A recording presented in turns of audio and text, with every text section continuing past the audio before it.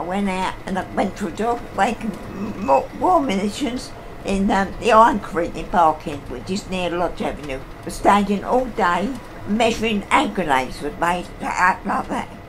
In the paint spraying factory, they used to spray like pieces for um, aeroplanes and tanks. There was no masks or anything to protect yourself.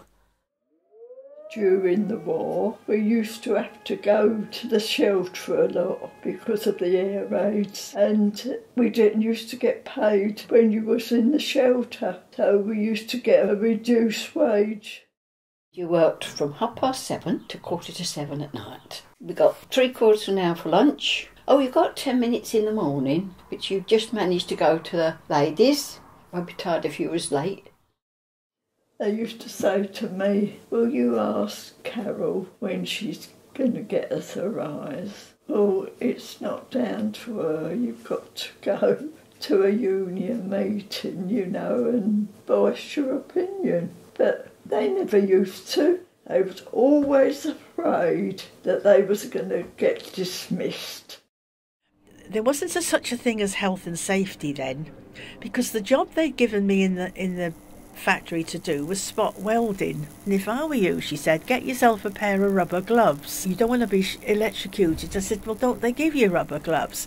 Well, they're supposed to, she said, but they run out. The whole machine blew up one day. I was sitting there the flames were all over the place, and I could hear this screaming, She's gonna be burnt, she's gonna be burnt. Anyway, it all died down, and the sparks were coming out, like sitting in the middle of a rainbow. And this woman picked me up off the seat. I couldn't move because I was, well, I was shocked more than anything, and I thought if I move, I might get burnt. And along come a couple of men, and they, they, they pushed the machine away. You're on a coach, and you stop halfway, there'd be a, a load of other coaches there. Been to the day Margate. About six o'clock, you've got the coach, and you stop at the same place again. By this time, a lot of people were really merry, and they used to have a dance.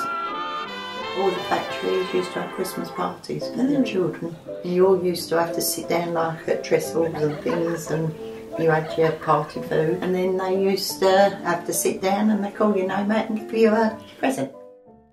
I mean, when I was working at, at the main baker's, I used to come home at five and then start cooking and washing and ironing. Sometimes I never even sat down in the evenings. The kids used to help me, but I had to give money all the time.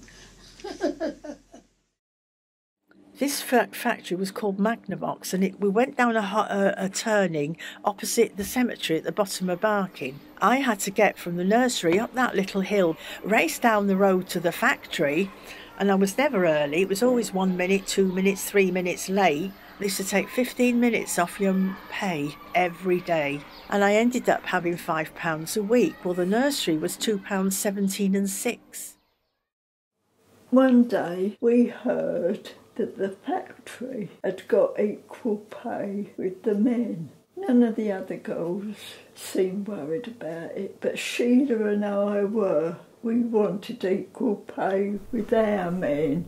Some husbands wouldn't like their wives doing that. Oh, well, I done as I liked, so did she. My Aunt Daisy was one of the machinists at Ford's. When the shop steward called them out on strike, my Aunt Daisy went on strike. And what I remember about it was my mother was absolutely disgusted because according to my mum, Daisy was really well paid. But my mum really didn't understand. The issue of the strike was about the fact that the women's jobs had been deemed to be unskilled when actually they were semi skilled. Being a machinist requires more skills than it does to push a broom around a factory.